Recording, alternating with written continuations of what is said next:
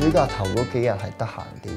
跟住我嘅 plan 就係去跑步啦、睇新聞啦、睇書啦，又練長號啦、打鼓啦 p 得好實嘅啲嘢，但係都享受嘅過程，覺得自己啊，我個人都幾有用啦，都做到幾多嘢。星火飛騰，星期日晚十一點三，本港台。